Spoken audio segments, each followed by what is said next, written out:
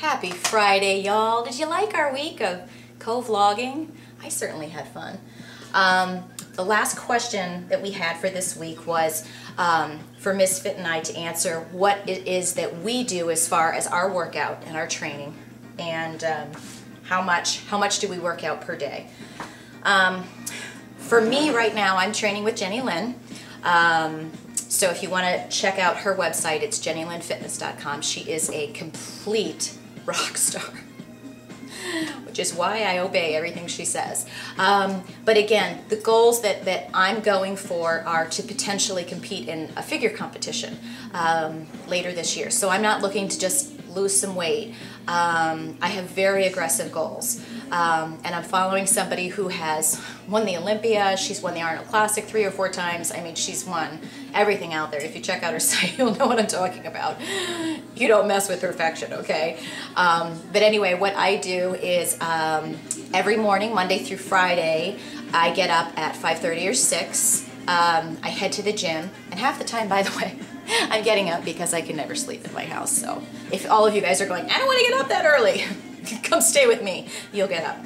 Um, but I get up, I go do um, 45 minutes of cardio on an empty stomach.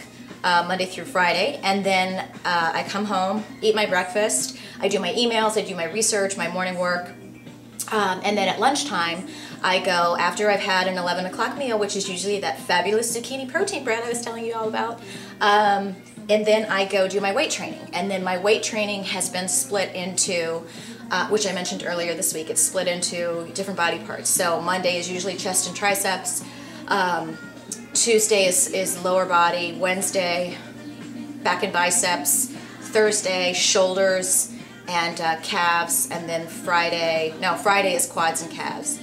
So shoulders and abs, and there's abs like three times a week. Um, and then Saturday and Sunday, I'm off. And um, I have to tell you, at first it was kind of freaking me out to be off because I was used to working out six days a week or training six days a week. Um, but I have to tell you, I just focus really hard. I push really hard. We're doing a, a lot of supersets, and um, I push it when I'm there. I give it all I've got. I make a lot of funny faces and grunting and groaning, and people stare at me. That's okay because you know what? I'm seeing results. I'm getting stronger. I'm getting better. The first four weeks, which I'm now in my fifth week, but the first four weeks of the program, I lost half an inch everywhere and a little bit closer to an inch on my middle hips, which is where I'm really trying to lean out. So um, for me, it works. I like it. But again, I also have those two days of rest, which is, you know, it's key. Do not overtrain. The biggest lesson that I have learned is do not overtrain. Overtraining can be just as bad for you as eating two dozen Krispy Kremes at a time. Are you asking if I've had it? No, I haven't had two dozen Krispy Kremes. I'm not crazy. I've only had a dozen. One time. Well, maybe three. Doesn't count.